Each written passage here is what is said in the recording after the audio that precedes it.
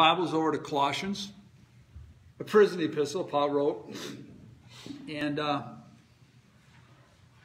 the name of the message today is Filled with the Knowledge of His Will. Filled with the knowledge of His will. It's Colossians chapter 1, verse 9 is where we take all of our messages named after verses that we're looking at. But uh, filled with the knowledge of His will. Colossians 1 9 is uh, For this cause we also, since the day we heard it, do not cease to pray for you and to desire that you might be filled with the knowledge of His will and all wisdom and spiritual understanding. So we're going to get into that, talk about that today. We do have an offering box in the back. It's the black box on the wall. We do have people that online that send money. We don't we don't pass a hat here. We're not looking for money, but you know what? The money is used, like Brian said, to further the gospel of Christ. It's used to pay for the building here. No, no elders. Brian and Kevin are the elders of the church here, and myself. Nobody takes a gas, a stipend. No money goes to us. Again, all of it's used. We send money to Haiti. We send money to Cameroon. We send money to Nigeria and Kenya and Tanzania and the Philippines all for pastors to get buy Bibles because uh, a lot of those places they don't have access to that. Um, we support the ministries around the world, people that are clear on the gospel. That's what the money is used for. So the black box is up to you. If online, people can mail it in, and uh, they just mail it to 22549 Kangas Road, Bovey, Minnesota, 55709. And again, we record everything. And people, because we're tax exempt, people can use it for tax write-off. Um, our, our specific learning outcomes today is pleasing the Lord. What's that look like? You'll get over there to uh, verse 10 we're going to get to. It says pleasing. All please says of the Lord unto all pleasing. So it's about how do we please the Lord? How do we please our dad? Our dad in heaven. And we'll learn what pleases the Lord. Because if you're a child of God, I think we should know what pleases our dad in heaven because it is a family affair. We should know what pleases our dad in heaven. And it talks about, today we're going to talk about being fruitful, pleases our dad, increasing in knowledge, and pleases our dad, strengthened by his might, pleases our dad, patience, pleases our dad, and giving thanks. So that's what we're going to, specific learning outcomes today. So hopefully you would learn something today, leaving church here. But most important, if you're not saved, if you're not trusting Christ alone, if you're trusting in a, a church, uh, a sacrament, a tradition, maybe your own good deeds, that you would listen to the Word of God. Because at the mail, at the jail this week, we talked about two men getting saved, and you know what? We presented the gospel to these men. And you know what one of the men said to me? He says, you know, my mom told me that I should never believe nothing until I see it with my own eyes. And I said, your mom is wise. I said, great. I says, turn your Bibles to, over to John 3.16. We read it. Turn over to Ephesians 29. Read that. I said, so what do you think? He goes, well, I just read that you, it's all by grace and faith. Believe? He goes, I'll believe that. Right then there, he trusted Christ as a Savior. Faith cometh by hearing, hearing the Word of God. So if you don't want to believe me, that's fine. Hopefully you would believe the Word of God because this is truth. So if there's anything that you get out of the message today, if you're not saved, hopefully today you trust in Christ alone as your Savior. And as a child of God, that you would grow in grace. Brian talked a little bit about this morning about heaven's a perfect place. Heaven's a perfect place. This is why no church, no one that can reconcile, there's no ritual that can redeem, there's no sacrament that can save, no tradition that can justify, and no work of men that can make you perfect. If you look at the verses that Haley wrote on the wall over the day, you can actually read them today, because when I write them, it's little scribble marks, but Haley wrote them today. If you turn over the Bibles to Revelations 21, 27, mark your Bible in Colossians, because that's the book we're studying, and we will flip over to verses. But if you look over to Revelations 21, 27, one of the last chapters of the Bible there, and it talks a little bit about heaven. Talks a little bit about heaven. It says, And there shall no wise enter in anything that defiles it, neither whatsoever worketh abomination, or maketh a lie, but they which are written in the Lamb's book of life. Heaven's a perfect place. But we're not. Romans 3.23 says, For all have sinned and fall short of the glory of God. And I would say, well, that sounds like a lost cause. Heaven's a perfect place. I'm a sinner. I missed the mark of perfection. You know, sounds pretty hopeless. But I would say, this is the good news. Here's the good news. Jesus Christ, Jesus the Christ, Yahshua's salvation, the, the, the anointed one, the Messiah. Jesus the Christ, the Son of God, voluntarily died on the cross for all of your sins. He was buried and resurrected the third day to show you all your sins have been paid in full. And if you would believe that and that alone, trust in Jesus Christ, what he's done for you, he will put the perfection required, he will put the righteousness required to your account. The perfection that's required to get to heaven is freely received in Christ alone. The righteousness that's required to get to heaven is freely received in Christ alone. The reason a person is saved forever is because if there was a possibility, if, if there was a possibility of you losing your salvation, it would be because of sin.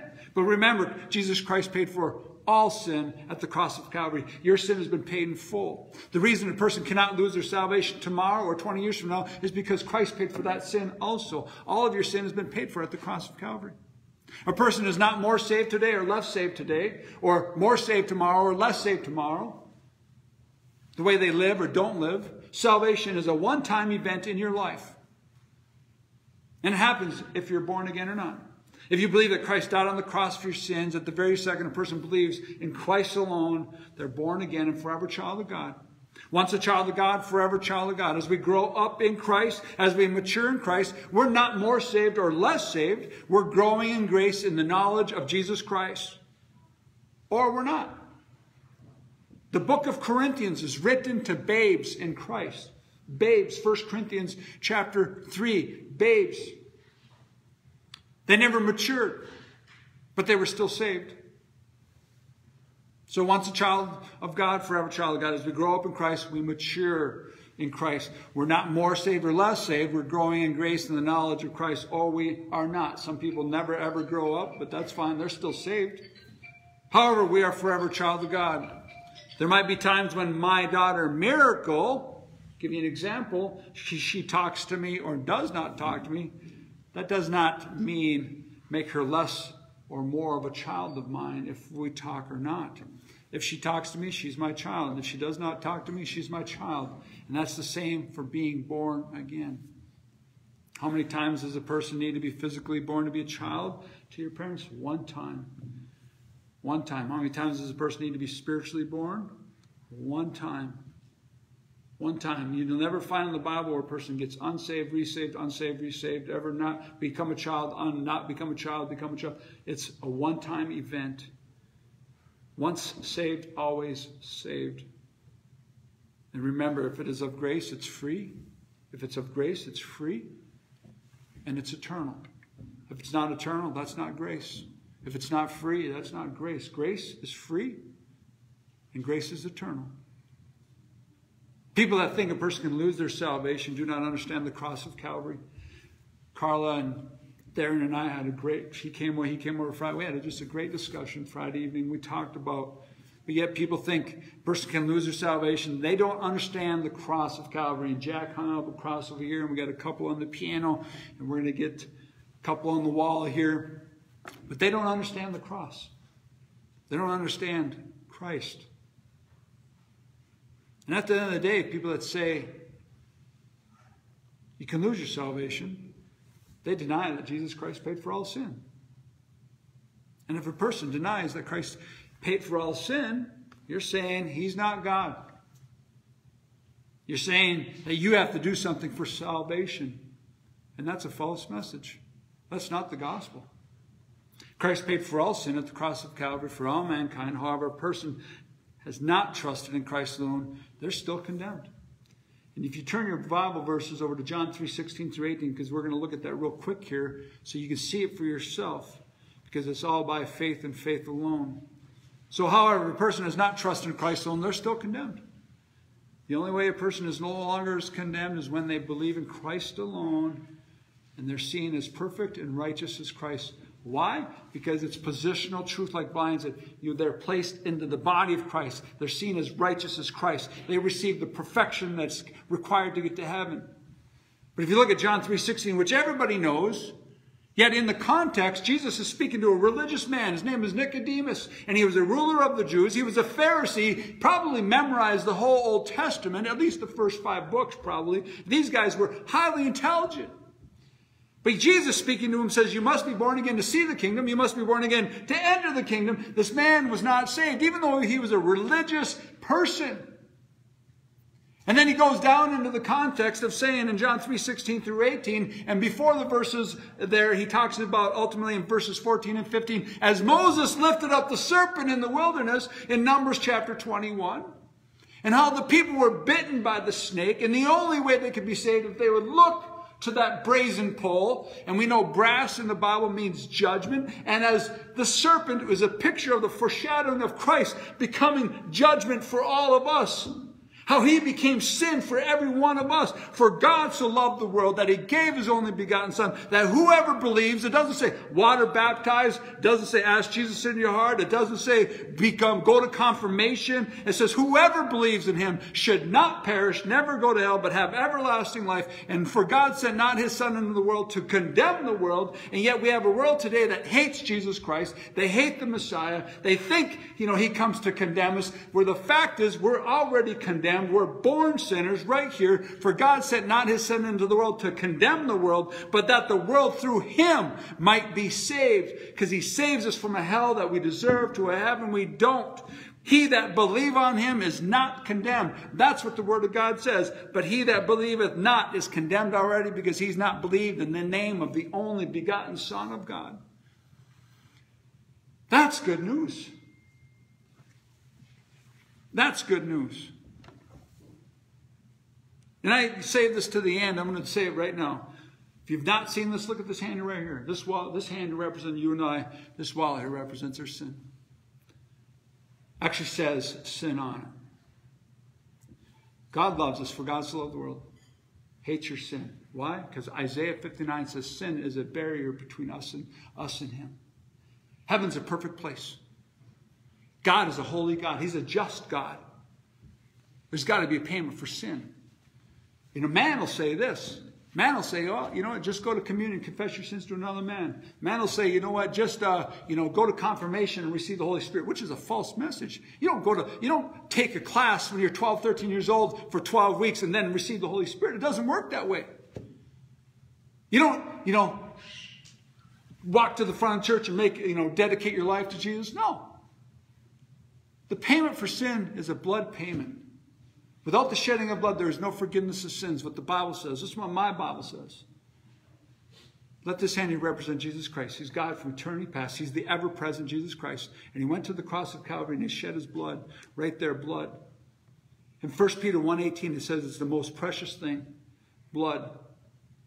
He redeemed us. He died, he buried, he resurrected the third day, showing us the payment for sin.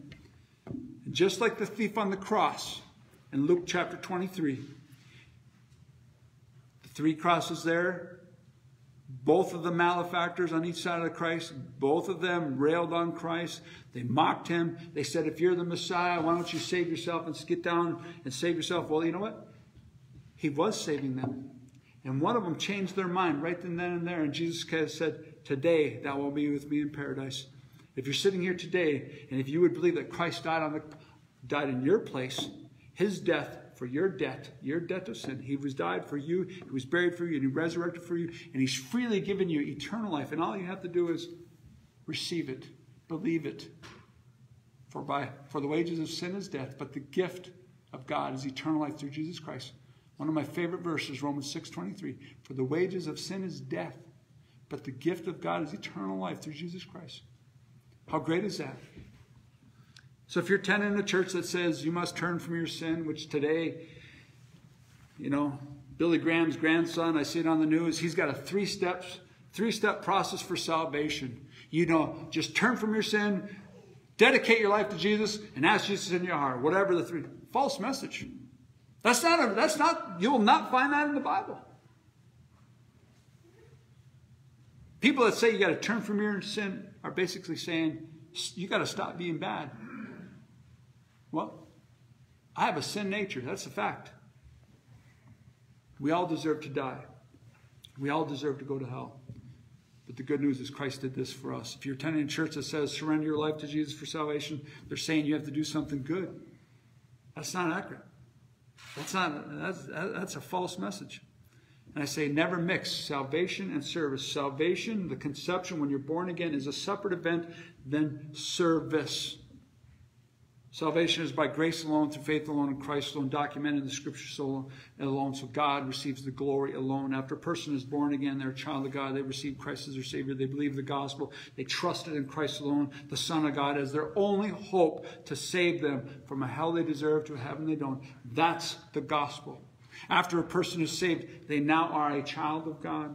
Now they grow up in Christ and they are nourished. Nourished. This is how we feed. We're nourished on the bread of life, the water of life, the milk and meat of the word. Good stuff. So we're going to read in Colossians here.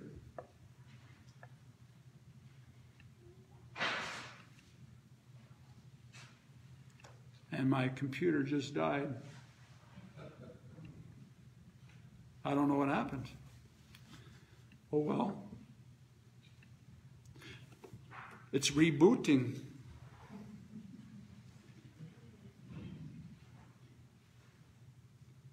We'll see what happens here in the next 20 seconds. I've never had that happen before.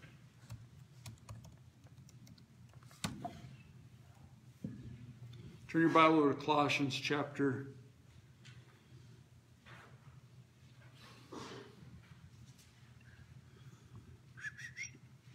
bring the zoom up here. Colossians chapter 1, verse 8.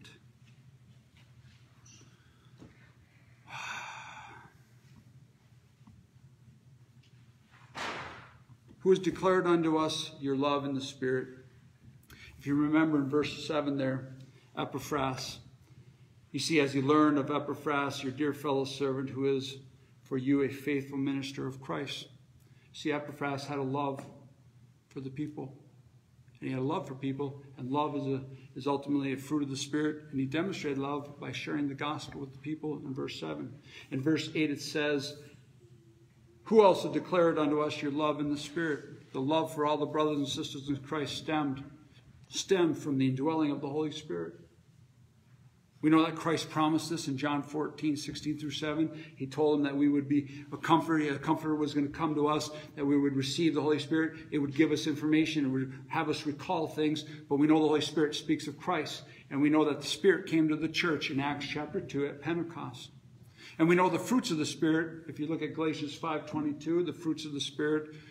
If you don't want to turn over there, I'll just read it. It says the fruit of the Spirit is love, joy, peace. Love, joy, peace, long suffering, gentleness, goodness, and faith. So walking in the, walking in the Spirit, walking in the Spirit of Christ, just like Epaphras did with Colossus, is sharing the gospel. Walking in the Spirit is praying for other believers. Because you'll see in verse 9 how Paul prayed for them. Walking in the Spirit is forgiving other believers in Christ. We know that Colossians 3.13 says that. Let's not, last week we talked a lot about love and forgiveness and things like that. But walking in the Spirit is not having revenge. It's forgiving other brothers and sisters in Christ as Christ has forgiven us. Be not like the world and think of revenge or get backs. Walking in the Spirit, because this love that Epaphras had for the church of Colossus in 1 8, it was from the Spirit. So I say these fruits of the Spirit, knowing that Christ paid for all sin, my sin, past, present, future, knowing that I'm eternally going to heaven, not because of anything I did, because what He did for me, that gives me peace. We have two men in the church here today that I know that talked about before they were saved, they never had peace. They would lay in bed and be fearful because they knew they were going to hell. They knew they were not performing to the religious standard. They were never good enough. But when they trusted in Christ alone, they had peace. Knowing that my life is just beginning is an awesome thing. That brings me a lot of joy because if you look at the sign down here, our life is, if you're a believer in Christ, your life is just beginning. Knowing that one day I will be raptured. I will receive the rewards at the judgment seat of Christ, not for salvation, no, but for service, yes. Knowing I will attend the marriage supper of the Lamb, knowing I will not go through the tribulation, knowing that the tribulation is for the nation Israel, not for the church, not for his bride, not the body of Christ. We will not go through that, knowing that I will come back and reign with Christ a thousand years here on earth. As a priest, you too, if you're trusting Christ, our life has just begun. That's what the Bible is written for us. These things we get to look forward to. Isaiah 65, 66 talks about that. Knowing that I will watch the white throne judgment. We talked about this. I will not be a participant, but I will be there. And that will be a sad day because it actually tells us that the Lord will wipe the tears away from our eyes. Why? I think about that often because the lost my family members, your family members, your friends, they will come up to it because their names were not written in the Lamb's Book of Life, and they will be judged according to their works in Revelation chapter 20, and they will be called cast into the lake of fire, which is called the second death, which is eternal separation. I will be there, not as a participant, but I will watch it. My mom and I have talked about that. I pray to God, I, the people that I've met in my life, that I, somebody comes there. I don't know. I, I think I, that that bothers me sometimes. Because I know I've turned people off in my life. And now they look at me and be like, yeah, right. He's a, he's a believer. I'm, and that, you know, I, I, but that's my own conviction I need to live with. My life does mean something to me today. I don't do things for my salvation. I do things for other people's salvation. Now they, they can see Christ within me. They can know the joy and peace. They can know they have eternal. They, I, you can have eternal life like I know I have. I don't deserve it. But man, when, when men can come into jail and know they've hit rock bottom and they can know that Christ loves them and paid for every one of their sins, and they can know they can go to heaven, not by turning their life around, but right there, trusting Christ alone. That gives them peace, joy. Man, there's so much that we have to look forward to. But you know what? Like Epaphras here in verse 7, starting the church of Colossus, he had a love for these people. It was spirit driven, capital S, right there in verse 8. Holy Spirit, fruits of the Spirit. We do not produce them, we just bear them. Look at verse 9. Verse 9. I'm going to read verse 9 through 14 and then we'll come back to verse 9. For this cause we also, since the day we heard it, do not cease to pray for you and desire that you might be filled with the knowledge of his will and all wisdom and spiritual understanding, that you might walk worthy of the Lord, unto all pleasing, being fruitful in every good work, and increasing in the knowledge of God, strengthened with all might, according to his glorious power, with unto all patience, long suffering with joyfulness, giving thanks unto the Father, who hath made us fit to be partakers of the inheritance of the saints of light, who hath delivered us from the power of darkness and hath translated us into the kingdom of his dear Son, in whom we have redemption through his blood, the forgiveness of sins. Back to verse 9. For this cause we also, since the day we heard it, do not cease to pray for you and desire that you might be filled with the knowledge of his will and wisdom of spiritual understanding. That is the desire. It is the answer for all his children, and that is the answer for all believers. The answer is for all believers to read his word, read the word of God, and be filled with the knowledge of his will, wisdom, and spiritual understanding. That's what verse 9 says. If you look at 1 Corinthians chapter 1, 1 Corinthians chapter 2, 10 through 14, this is what the Spirit does when you read the Word of God, when you allow the Word of God to transform your mind. The Spirit helps us interpret the Word. 1 Corinthians 2 10 through 14 says, But God hath revealed unto us by His Spirit, capital S, Holy Spirit. For the Spirit searches all things, yeah, the deep things of God. For what man knoweth the things of man? Except the Spirit of man which is in him. Even so, the things of God knoweth no man but the Spirit of God. Now we have received not the Spirit of the world, but the Spirit which is of God, that we might know the things that are freely given to us of God. Which things also we speak not to the words which man's wisdom teaches, but which the Holy Ghost teaches, We compare spiritual things with spiritual. But the natural man receive not the things of the Spirit of God, for they're foolish unto him, neither can they know them because they're spiritually discerned. This is why we have 1,500 different religions of the world, because you have a lost man that will read the Bible and he will interpret things. And they'll come up with their, they're not, they're spiritually discerned. Whereas a gospel driven church, a spirit driven, a pastor that's saved, you can go and and you'll hear that same message in Florida, you hear the same message in Philippines, you'll hear the same message in the Ukraine. You're a sinner. You deserve to go to hell. Christ loved you. He paid for every all of your sin. He offers you the free, the free gift of eternal life if you would just believe that. That's a church that is spirit driven. So I say, your dad in heaven has a desire for you, he has a will for you, he has a plan for you. And for you to know the plan, for me to know the plan, you got to know the will of your dad. You got to know the word of your dad. So we hear that Paul here, he prays for his brothers and sisters. They're, we're to pray for our brothers and sisters in Christ that they would know the will of their Father, of Dad in heaven. So when we pray for people weekly, we should pray that people would read the Word of God, that they would understand the will of their Father because it is a family affair. And I say our physical families here on earth will end. We see funerals happening all around us. When the flesh ends, the flesh dies.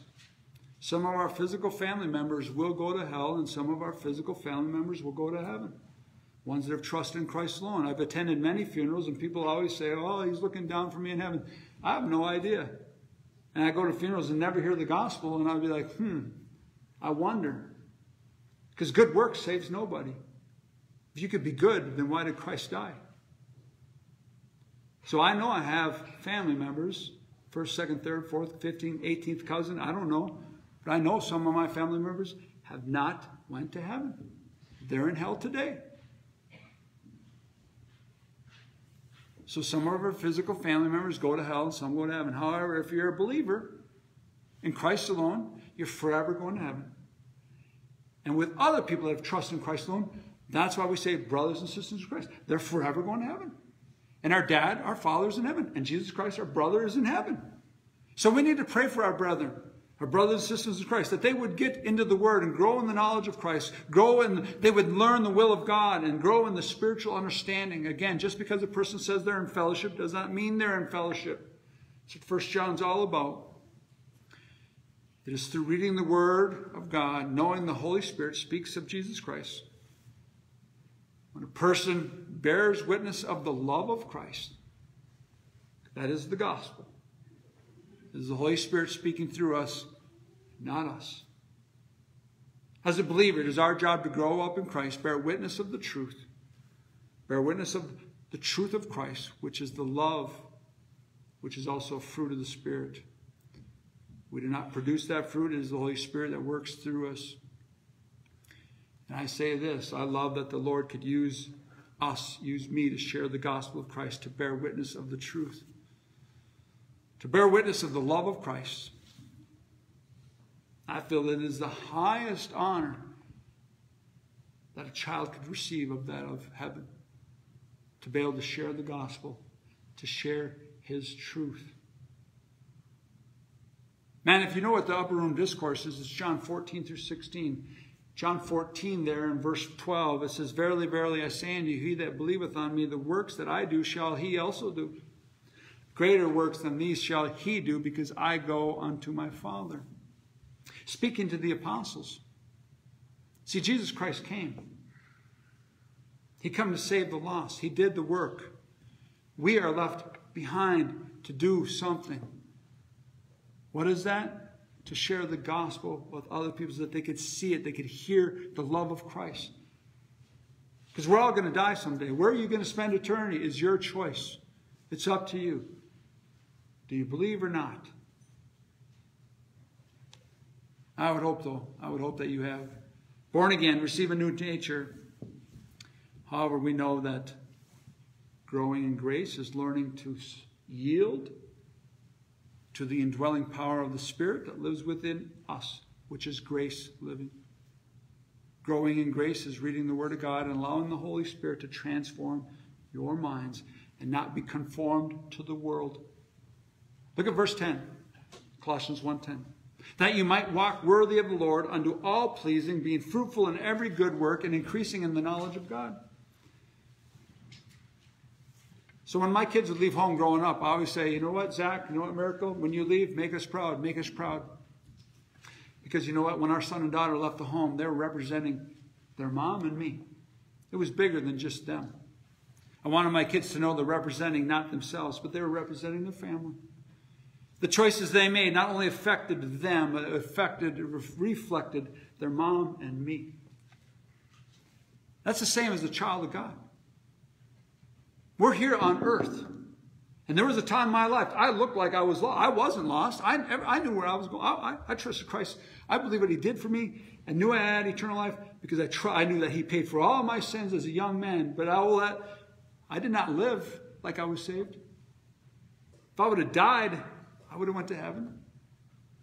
Everybody probably would have attended my funeral and be like, we know where he's at. but fact is, I was saved. But the reason I'm, we're left here, and I've come through reading the Word, I am representing something bigger than me anymore. As a, the same as a child of God. As a child of God, we're told that you might walk worthy right here. Listen, just reading these things, that you would walk worthy of the Lord unto all pleasing. It is a choice as a child of God because I have two natures. I can walk in the flesh and I can fulfill the lust of the flesh, or I can walk in the new man and represent my dad with a capital D and my brother with a capital B with honor and integrity. As Christ did the will of the Father, he demonstrated his love. We know that in John 14 31. He demonstrated his love for the Father by doing the Father's will. And the same for us. It should be our will as we grow in the knowledge of Christ that we demonstrate our love for the Father by doing his will. We got such but a short season here. Short, a short season. We sing the song, you know what, our, we get into our later years and the shadow is long. For some of us are in the winter seasons of our life, maybe the fall season. We have, we're not guaranteed not one more day. But you know what? And I think as a saved man, I'm like, you know what? I'm so thankful that I know where my children are going. I know where my mom and dad are going. I know where my kids, my family. I just, we, what an honor that is. And I have friends that have trusted in Christ alone and become brothers and sisters. That is just so amazing. So as we grow in grace and the knowledge of Christ by reading the Word of God, come into church because we should assemble together with like-minded people. It tells us that. Hebrews chapter 10. We should be here on the Sundays. We should have fellowship like the congregation meeting before church over coffee or after church, people hanging out, having fellowship with each other. We should learn that all that pleases our dad in heaven. That we walk worthy unto him. Do we have to do this? No. Should we do this? Absolutely. I watched a video this week. It was about a young man. He rides dirt bike for the Nitro Circus. If you don't know what Nitro Circus is, it is it's about extreme athletes that live just they do all these incredible things with dirt bikes and things like that. But listening to him speak I was immediately saddened because he actually talked about what his biggest fear was. And his biggest fear was not being able to do all the things that he wanted to do. Hmm. Now, maybe if you hear that for the first time, you think, well, there's probably nothing wrong with that message. But what I've learned, I've thought about that, even thought about that through the week. What I've learned about the flesh is that once you've accomplished something, there's always something that comes along to replace that old desire for a new desire. And that circle for me never ended always being able to do things that I want to do. It never ends, never stops. Once I kind of accomplished something, I, you know, it was almost like the anticipation was even better than the event itself. Because when the event happened, I was always felt left down. a bit. then I was looking for the next thing. And what I've come to conclusion in my life is that it's a lie. It's a lie. Never, you'll never stop pursuing what you want to do. It'll just be next thing will come along, next thing will come along, and it's a distraction for us believers. Because as a child of God, I have lived the life of wanting to accomplish all the things I wanted to do, but later found out it was trying to catch smoke with my hands. It was an impossible task. It was like the dog chasing his tail that you never catch. And you know what? 20 years of chasing the dog's tail over and over and over. What have you really accomplished? I finally came to the conclusion that I need to read the Word of God. And through reading the Word of God, the Lord speaks to me about the will of God and about my dad speaking to me about His will for me. And I have come to the conclusion that my life is bigger than me. I'm representing my dad and brother in heaven in a world that hated Christ, the world that hates God. Yes, there is a world today that loves to be godly, but it hates Jesus Christ. It hates the God of the universe. Because you know why? Matter of fact, when he revealed himself in the flesh, they made lies about him. They said that he was a blasphemous. And I don't understand how you could be blasphemous when you are God. And they say that he's claiming to be God when he really is. And they actually nailed him to the cross. And like Shannon and I were talking before the message today, you know what? The cross to us today is one of the most glorious things you could see on, but it was, you know what it was? It's a death chamber. It was created for people to suffer. And if you read Psalms 22, and it's a psalm that David wrote a thousand years before Christ went to the cross, and it talked about how he, the joints were pulled, every one of his joints were pulled out of socket, how his heart was melted like wax, how he sweated profusely from the pain. It gives you this picture from the inside of the mind of Christ, what this torture chamber did. And we know that it did to the two criminals. They would break the legs so you could suffocate and ultimately die. But you know what? Christ, he says, you know what? No man takes my life. And I, he says, I will give it up freely and I will take it and I will call it, raise it up again. And it tells us that in, in John chapter 10, 17 and 18. And all ultimately how Christ, they nailed them to the cross. But you know, what? it is in their ignorance that they fulfilled the scripture and that he paid for every one of our sins. So the world hated him so much, they nailed him to the cross, yet in their foolishness, they fulfilled the scriptures. I know the world hates me because it hated the Savior. However, that should not stop us. It should motivate us to share the, it should motivate us to share the gospel of Christ because we're in a battle. And I've always loved a good battle. I watched The Outsiders when I was young, and I talked about the Socs and the Greasers. And I tell you what, I wanted to be like Darry. If you ever remember the fight where they came, and Darry, you know, it's like girl looking at him as a young man. I'm like, oh, that's what I want to do. And I've had some good battles in my life. I got some former football players here. You know, we had some good battles good battles in football. But you know, now we come to realize that we're in a spiritual battle. And I say, you know what? We fight from victory. We fight from victory. We believers have already won. Think about that. Turn over to Philippians chapter 1. Philippians chapter 1, another prison epistle. When Paul was in prison, he writes this to the church of Philippi up in Macedonia in Philippians chapter 1, verse 20.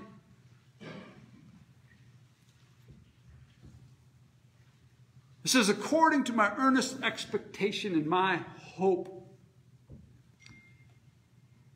that in nothing I shall be ashamed, but that with all boldness, as always, so now also Christ shall be magnified in my body, whether it be life or death. I already created my own funeral. Wife has the link. Because when I die, I want Christ to be magnified. In my life or death, I want Christ to be magnified. I don't care if I live one more day or 20 more years, whatever it be the desire. But you know what? Christ shall be magnified in my body, whether life or death. To me, that says a lot. For to me, live is Christ. To die is gain. Christ was persecuted on this earth. And we Christians, I tell you, when you start sharing the gospel and tell people there's only one way to heaven, you're going to receive a little bit of persecution. But you know what? To die is gain. Die is gain.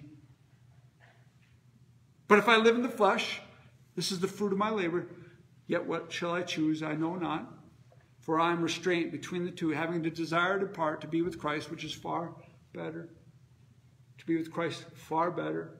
Talked about a man being his feet being amputated, the pain that we go through. I know the men and women of this church, some suffering with, with cancer, some suffering with the depression, whatever it is.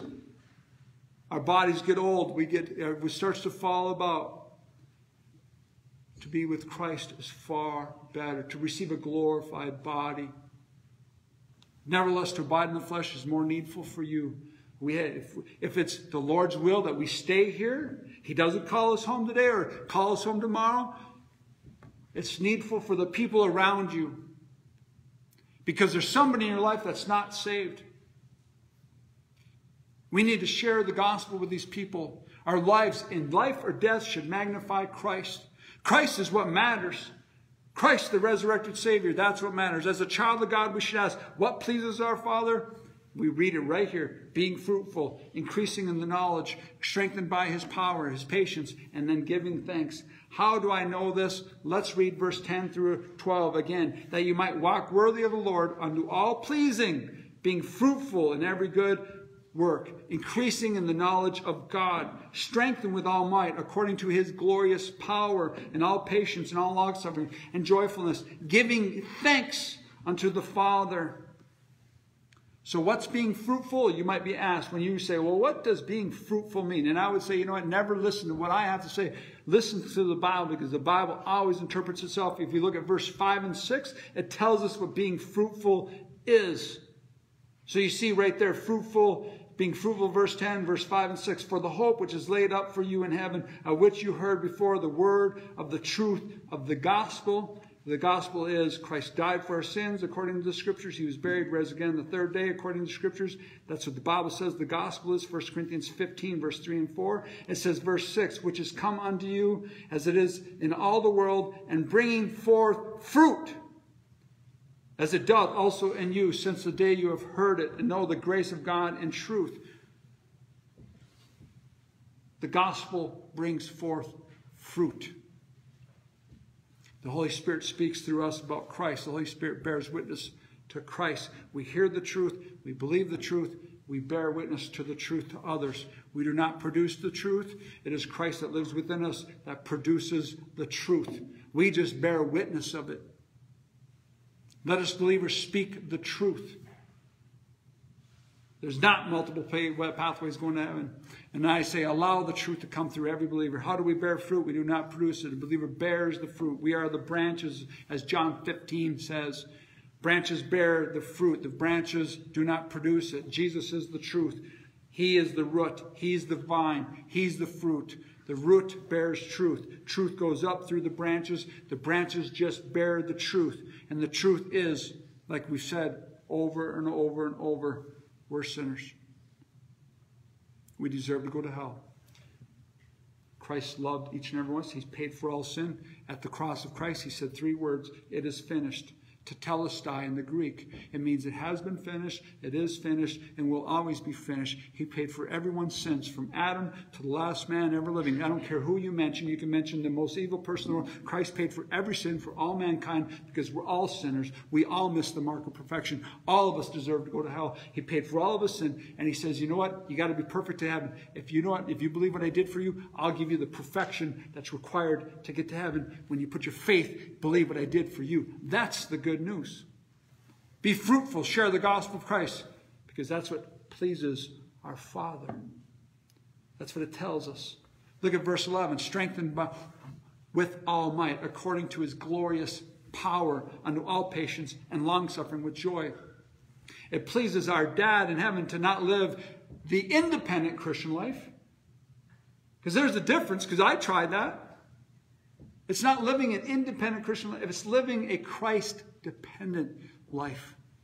And that is our motto of the church. We're saved by grace through faith, and then we live by grace through faith.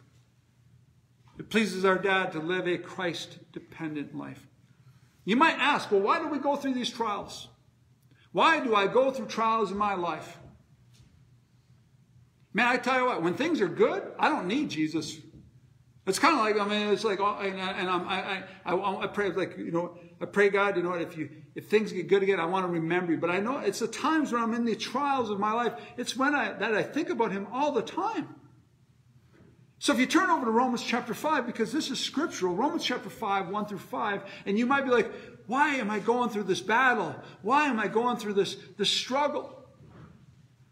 And it makes me think of Moses when he leads the Israelites out of Egypt there. You know what? They were in persecution, slaves for 400 years. And you know what? He brings the 10 plagues in, and all these plagues were proof to the Egyptian gods, and everyone was a plague against the Egyptian gods that they were false.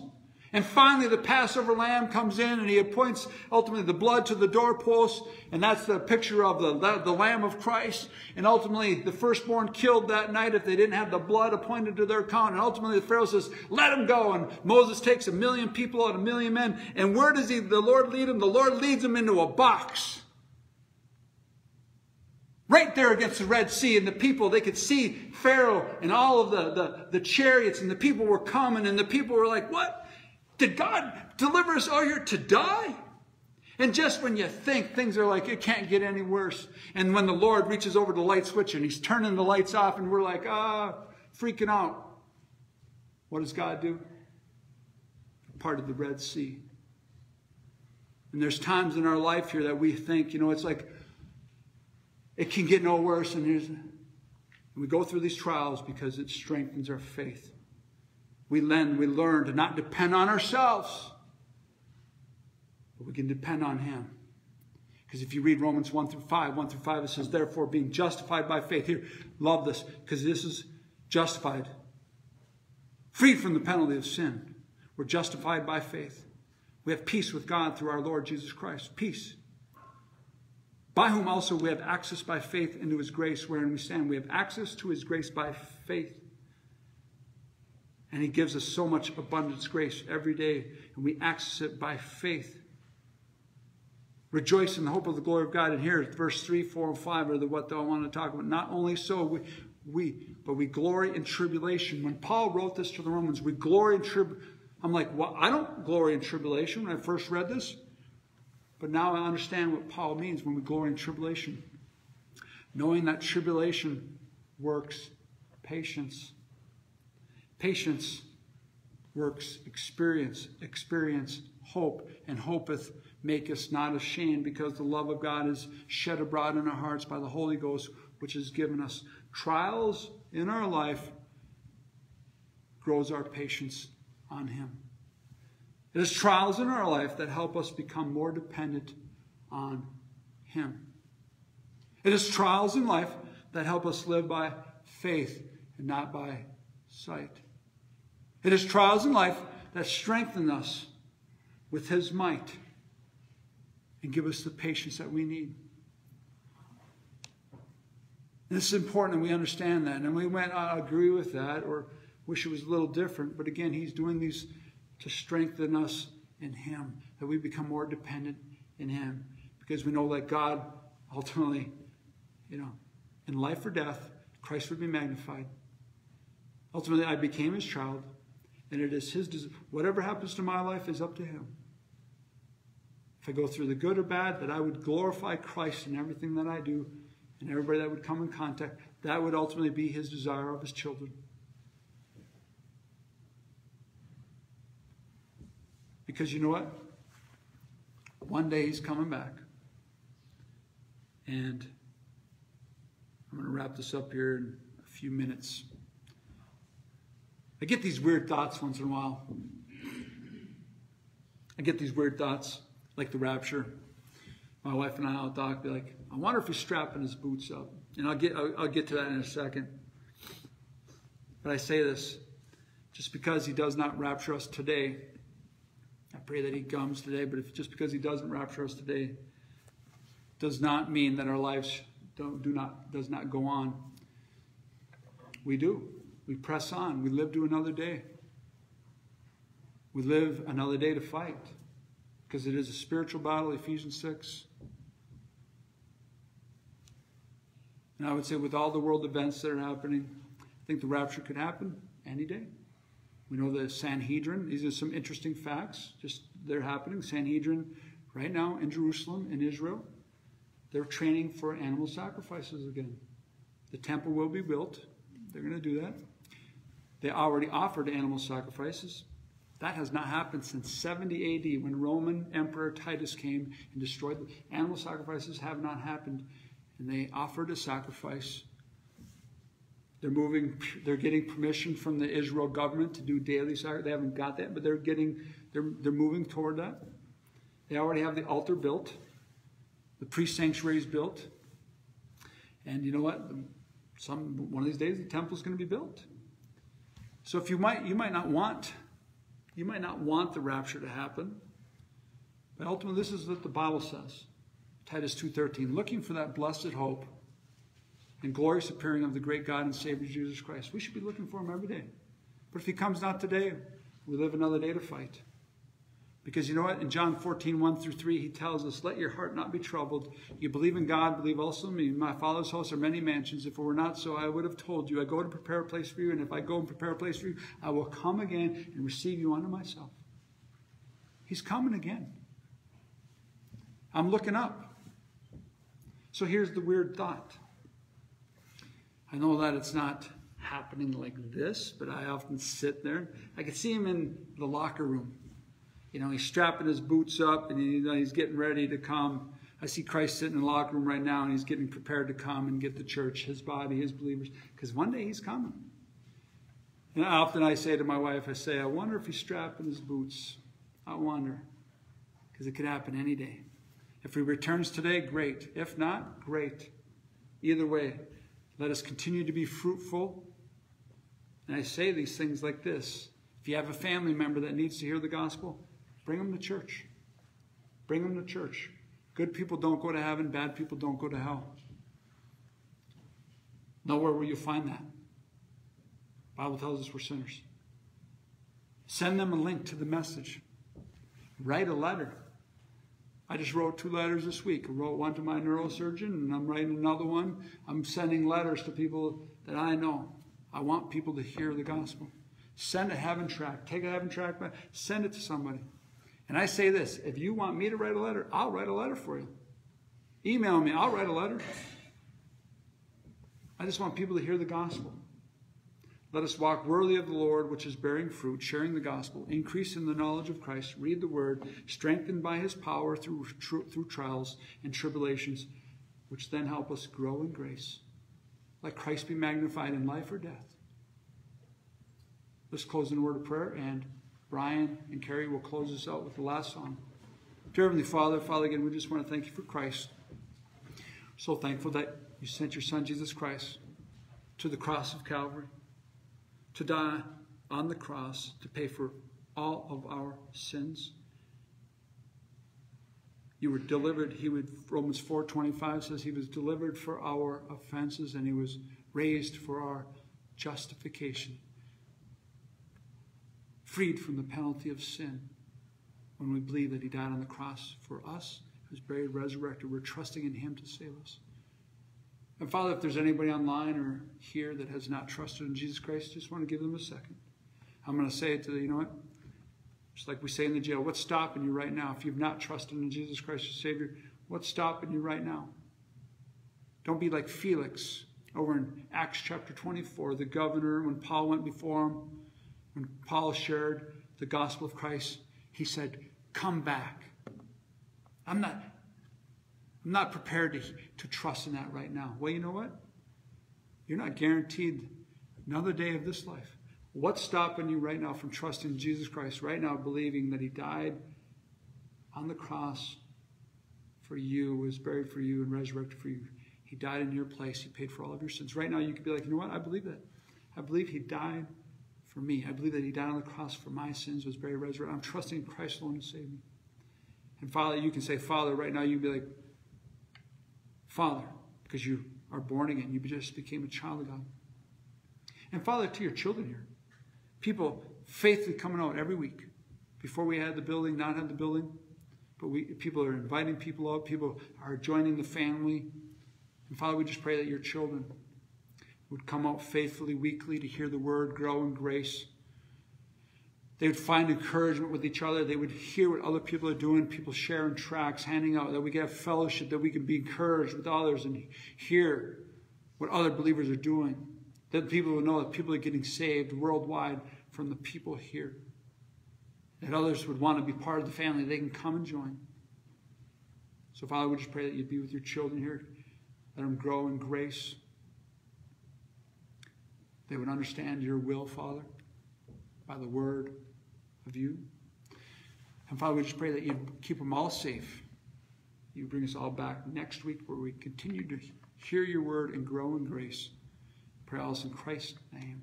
Amen. We'll have our last song. Uh, elders meeting today. If you have something you want to put uh, in the box, if you have uh, recommendations, you know, or things like that, you can drop in the box and the elders will review it. It doesn't have to be today. You can do that anytime. I just want people to, people to know they have a say. We will hear anything you have to say to the church here. So I'll turn over Brian. For God so loved the world that he gave his only begotten Son, that whoever believes in him shall not perish but have everlasting life. So, that's awesome.